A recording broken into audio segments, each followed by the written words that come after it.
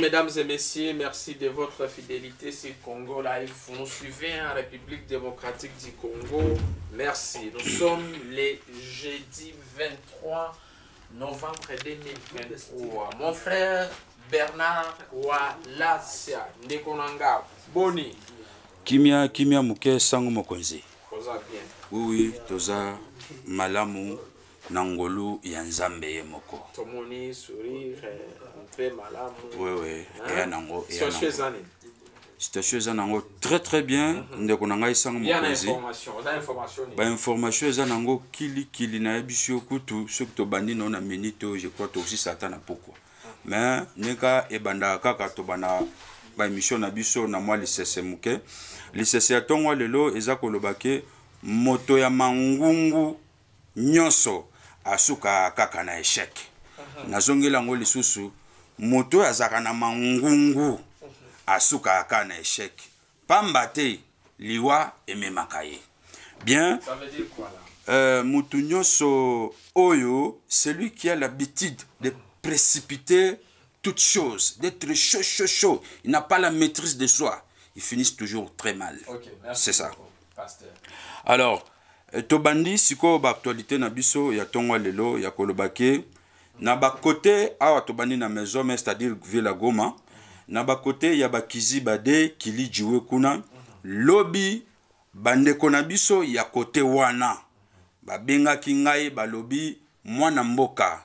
To souffrir cote oyo. Il faut vraiment bakonzi ya province batalela biso likambo oyo. Kuna eloko nini ezoleka kuna? Il semblerait que koza ba groupe moko boye bazomibenga ba AP Celeste oyo bazokotela bato na butu. Au moment où toyebi que AP Celeste ya vrai eza na mokonzi na bango place bazali ekutu bazo defendre mabele na biso. Mais ya kokamwa eza ndenge nini? Cote wana ba compatriotes na biso bazolala te. Groupe wana emibengi ya ba AP Celeste eza groupe moko ya faux oyo bazolinga kobebisa image bazolinga kobebisa image ya AP Celeste oyo biso toyebi bo ba na front baza na leader na bango kuna bazobundela mboka yango tobeti mbela na tongo lelo ke koyebisa lisusu bakonzi na biso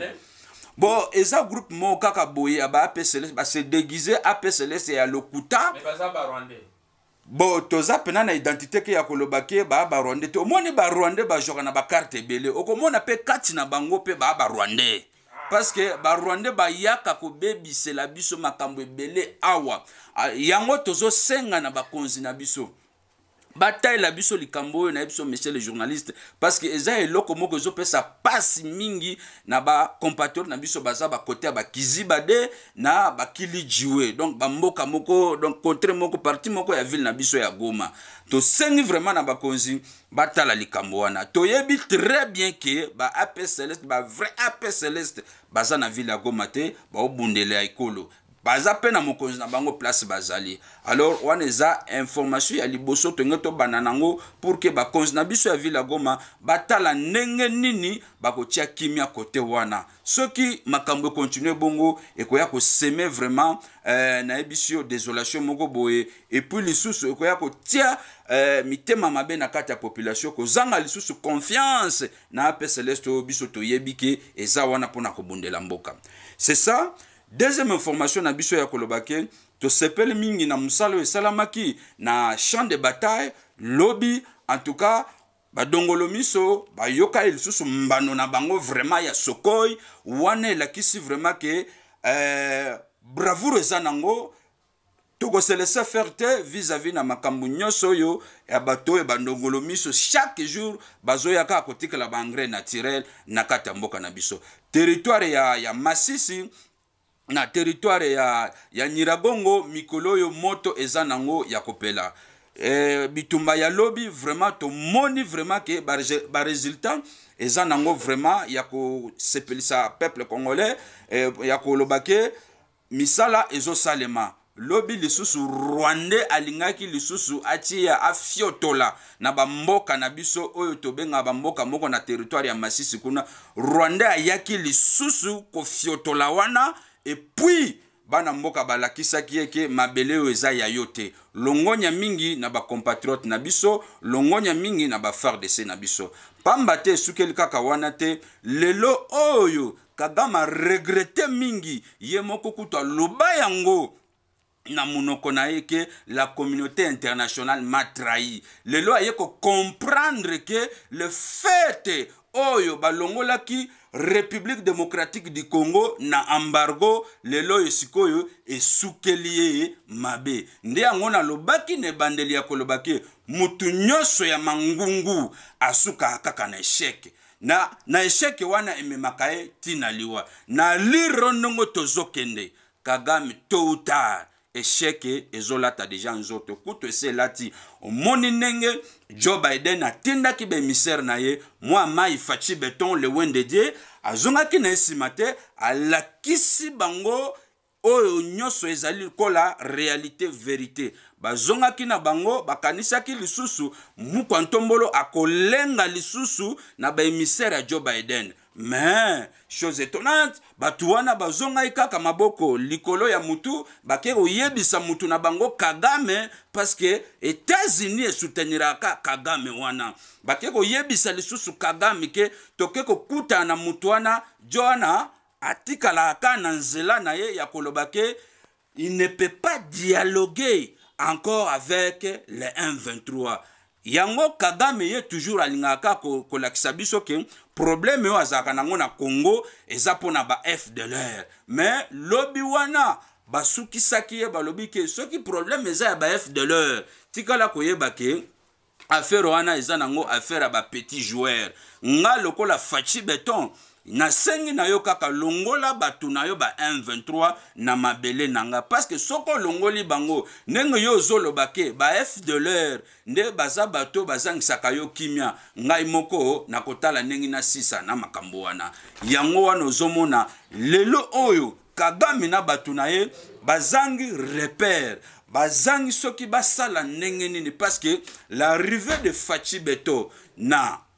ebonga ya mboka eye kochange badonne ebele ebele eh, na niveau ke bazangi soki basimba wapi o oh, tolobaka kaka chaque jour mboka oyo eza ya nzambe mutu moko te akoya kotia point aseki concert na makambo ya mboka na biso mutu moko te apart kaka nzambe na wende die mwana na ye faci beton oyo nzambe ye moko atindaka ye aya kokonza mboka na ye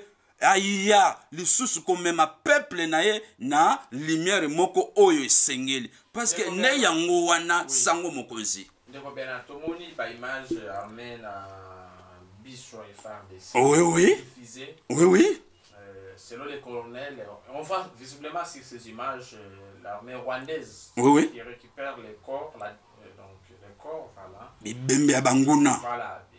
bembe ya banguna voilà l'armée rwandaise transportée au Rwanda voilà mais comment comprendre cela mais okomprendre yango ndenge nini monguna batikeli ka chance mwa moke arécupere bibembe na ye sango mokonzi nayebisi yo ba emission oyo tosalaka oyo elekaka nango pamba te eyosala mosala antuka eyosala mosala tala ndenge lisusu baye kotikala lisusu engrais naturel na kati ya mabele na biso badrone na biso ereperaki bango très bien ndenge baolokota bibembe na bango wana kutu bana grace nayebi biso monsieur le journaliste bana grace bana grace batikeli bango temps balokota bibembe wana ngai nao mituna kutu congolais motema na ye monene oyo nzambe apesa ye eza mpo kaka badongolo miso bakokaka kocomprendre congolais te ye vraiment nayebisaka congolais aza frere ya jésus yokanisi na bamboka misusu rebele azoya kolokota eh, eh, bibembe na ye batikele su temps ya kolokota ifaye basilisa na bango wana mais tala armée oyo eza professionnel erespectaka bacharte international etike lisusu monguna alokota bibembe na ye tala eloko wana tosepeli na bravoure wana epuis lisusu kagame ye alobaka kaka ke voilà le 1 23 eza affaire ya bacongolais mais tala sikoyo bibembe nyonso wana ezokende na mboka na ye tala tala bablesse nyonso ya, ya, ya, ya, ya m23 bakendaka bakenda kozwa traitement na uganda toa na bavideo toa na bavideo ndenge baza na uganda na bahopital ya kuna ndenge soki blesse moko ya m23 azwi bambuma vera na champ de bataille akendaka nde kosuka na bahopital ya uganda bavideo toa nango comme preuve à l'appui pour vous dire que kagame emata ekita ye nde parrain ya M23 sango mokonzi ye nde parrain y compris su na baimperialiste oyo basutenaka ye butu na moi nzambe ya likolo tozoloba chaque jour le congo appartient au congolais motu mosusu te ana pouvoir ya kotia point na makambo ya congo batika congo esi ekomi nango capable ya kose prendre en charge esi ekomi nango euh, mboka oyo ezokende na komata male malembe yango soki boye na porte te bokoka kongo te soki boye na porte te epuis lisusu chemin oyo félix antoine tshisekedi mokonzi ya mboka sa trace Il faut bolanda yango eza nango mibeko il faut bolanda mutu nyonso akolinga kokende pembeni na ndenge esengeli akokutana na kaka na esheke akokutana kaka na bazalendo akokutana kaka na bafardc na biso yango wana sango mokonzi eloko ya kokamwa to, eh, ya kokamwa eza keke kagame amesana konie ke 123 eza fruit na ye te eza eh, fruit ya congo me ye wana bibembe nyonso ezokufa ezokende okundama na mboka na ye c'est ça monsieur le journaliste c'est regrettable komona lisusu moto ya niaka ke voilà euh, euh, ba m23 baza bato na ye te eza affaire ya congo ye wana bibembe nyonso ezokende kokundama na mboka na ye anala encore plus loin lelo oyo kagame akomi kotepatepa tala bamboka lokola babusanzi bakagera bitumba eselamuki nango kuna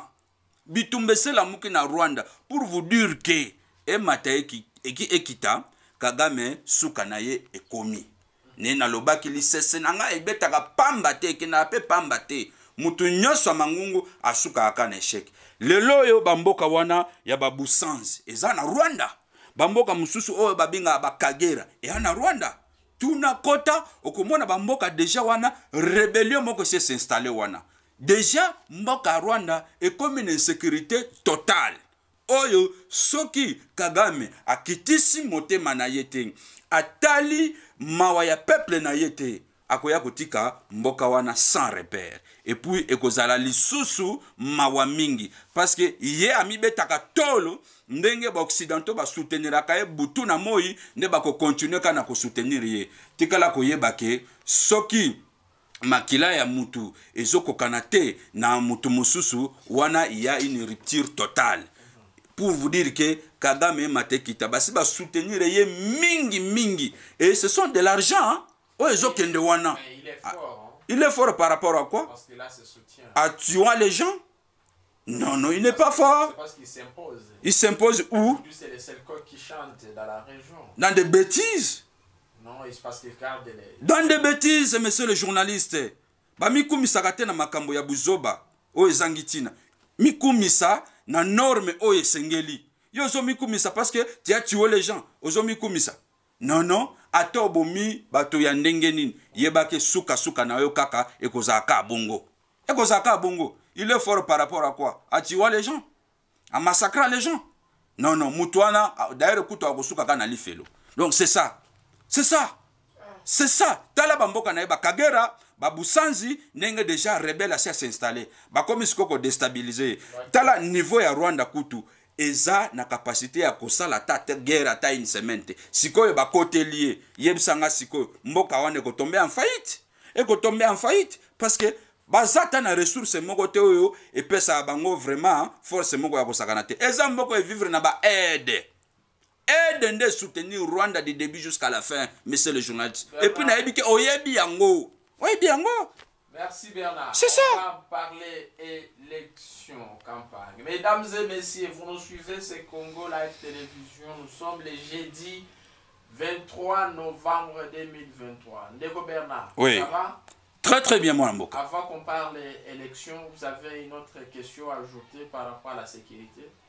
securite mpo na, na ville na biso ya goma tosepela na securite oyo eza na kati ya ville ya goma vraiment toremarke très bien ke ba fardc na biso baza vigilant baosécurise euh, disons euh,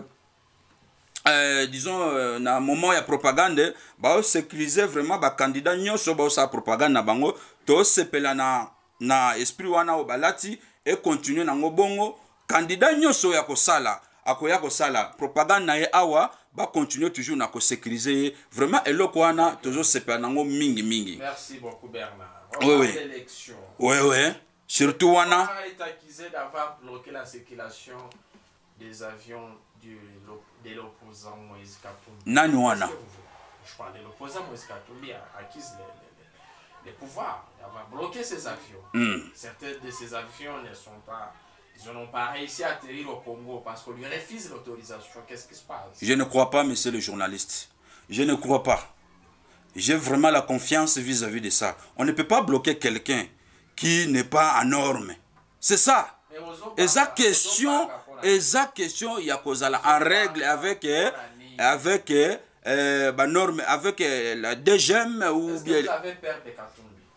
ah, yaya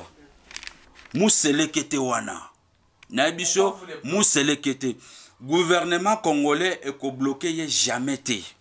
soki ayebi ke aza na bamikanda na ye vis-à-vis eh, na norme oyo nyonso ezalaka na aéroport bakotika ye temps akende na ye asanvole eza nde question ya kozala en règle c'est ça soki oza nayo en règle te bakoretenir oyo mpo osisa makambo na yo immigration c'est ça c'est ça monsieur le jour on ne peut pas bloquer motu lokola katumbi basi batikeli ye temps asala propagande na ye toyebi très bien ke motu wana azoluka kaka baproblème bisika nyonso toyebi yango ata lelo ata eh, nzinzi eye kobeta ye na litoi tala babeta ye nga libanga boye na boye papa eza nango nzinzi eza nango eloko te lelo wana ndenge asakomi wana aza, aza lokola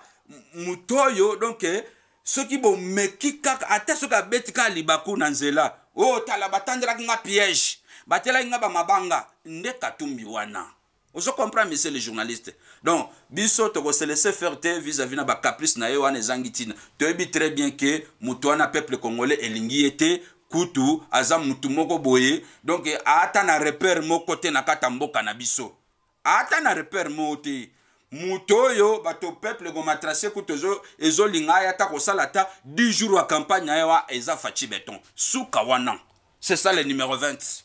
Tokei, Tokei, c'est ça, monsieur le journaliste. Moukwantombolo, les mots maï fachi béton. C'est ça. Quand oui, oui. arrive aujourd'hui à Goma, comment vous trouvez la mobilisation Tala nenge mali le yali. Oh. Tala kaka yo moko. Siko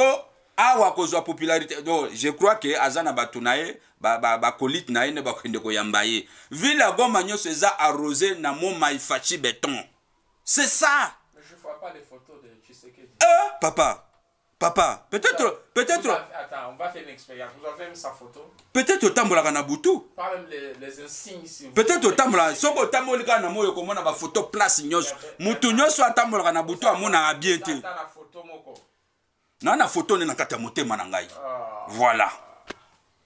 nde ngai nazoloba boye deja foto motu nyonso azolanda ngai na minite oyo ayebi ke mm, faci beto wana voilà